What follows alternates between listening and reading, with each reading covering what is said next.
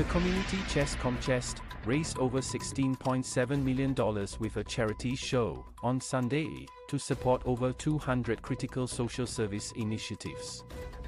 They include programs that empower children with special needs and youth at risk.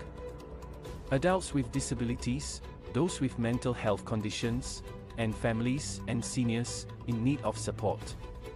The Uniting Hearts 2023 charity TV show, which was held at MediaCorp's The Theatre and screened on Channel 8. Also marked Comchest's 40th year, holding fundraising activities and supporting those in need. The show featured a star-studded lineup, including international performers, The Wynners and Ricky Seah. Local singers Rahimah Rahim and Kit Chan, and actresses Kym Ng and Zoe Tay, as well as beneficiaries and corporate partners. For three hours, they sang, danced and performed for over one. 200 people, including the guests of honor, President Tharman Shanmugaratnam, and his wife, Miss Jane Ittogi. Veteran actor Edmund Chen was the architect behind the final artwork, Trees of Hope. It saw a diverse group of people put the finishing touches to a garden of cardboard trees and animals that they started making in July. A total of 200 people were involved in the community project, including staff from banks and hotels, students from institutes of higher learning as well as special needs children. Chen said the idea was to bring different layers of society together at the garden. I chose cardboard for the trees because I wanted to use the weakest material. I wanted to show that with perseverance and hard work, we were able to build a very sturdy tree. He added. Earlier in the evening, President Tharman got involved in the show when he passed the ball back to wheelchair-bound basketball players who were having a match on stage. The night also saw actor Desmond Tan and singer, songwriter Annette Lee pair up for a duet titled The Sun Tan, who won Best Actor at the Star Awards for his role in When Duty Calls in 2018. Said he started singing while in secondary school and continues to exercise his vocal cords in the shower. The sun, sung in Mandarin, illustrates how the star illuminates all life on earth.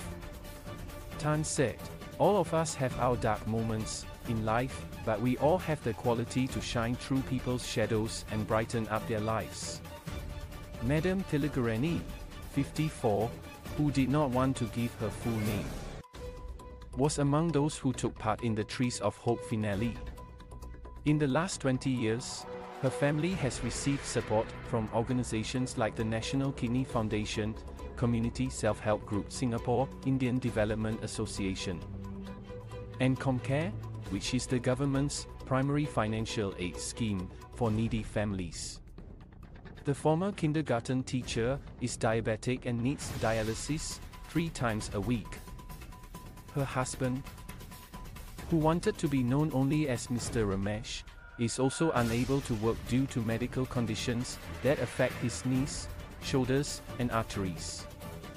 Madam Tilagarani, whose 10-year-old daughter receives bursaries, said, When most people see us, they think we are very healthy.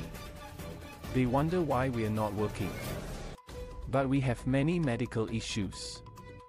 She said her life would have been much harder without financial help and support from volunteers, who also provide them with food supplies. Real estate consultancy Propnex, a corporate partner of the show, said its staff and agents have been pledging a portion of their commissions to the share program since 2013. The program is one where donors give each month to Comchest.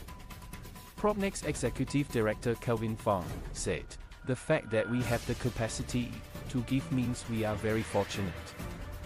Not everybody has the opportunity to do so.